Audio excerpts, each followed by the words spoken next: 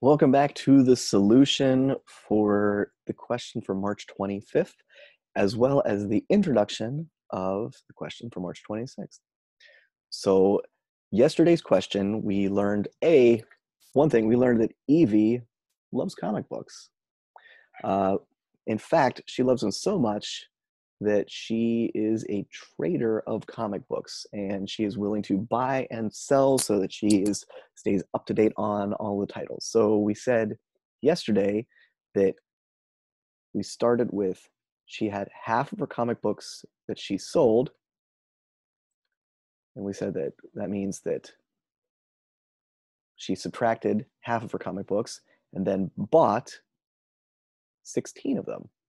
But we added and then 16 being now she has 36 so we're looking for how many she began with. So i'm going to use c as our variable because c for comic books. So if she sells half of her comic books you can do this a couple of ways. So we have 1 half C. Ooh, that's a bad looking C. I'll try this again. 1 half C plus 16 equals what? Yeah, 36. So one half of all the comic books that she started out with, if you add 16 to that number, you're going to get 36. So going to start here by subtracting 16 from both sides. 36 minus 16 gives us 20. And then 16 minus 16 is 0. One half of the, of the comic books that we have is equal to 20. Now, remember uh, a couple of days ago, we had an equation where we had a number being multiplied by a fraction. Now remember, this is really, this is one half times c.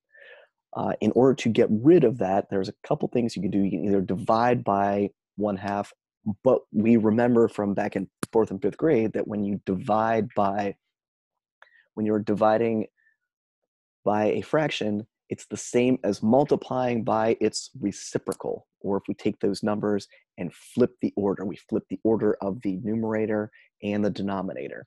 So multiplying by that is really the same as multiplying by 2 over 1 or multiplying by 2. I'll put that over 1 just so we see it. So 2 times 1 half cancels out, leaving us with, I'm going to do this one in black. So I have C equals, then what's 20 times 2? Well, 2 times 2 is 4. I put a 0 on the end. 40. So 1 half of 40 plus 16 equals 36. And if we do that in reverse, 40 divided by 2, or 40 times 1 half, gives me 20 plus 16, which gives me 36. So Evie started out with 40 comic books, but then after buying and selling, she has 36. Great job. So, our last question for this week, I'm going to clear the drawings and get that. So, last question for this week. For a field trip, four students rode in cars and the rest filled nine buses. How many students were in each bus if 472 students were on the trip? I want you to use those skills that we've been practicing these last two weeks to answer this question How many students were on each bus? Okay. For a field trip, four students rode in cars and the rest filled nine buses. And we're going to assume that they filled those buses equally. We're not going to say that one was like a smaller bus, a medium bus. It's all all the buses have the same amount of seats, same amount of students. All right. Good luck. I look forward to seeing your answers.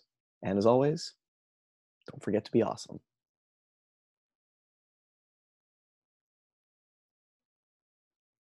And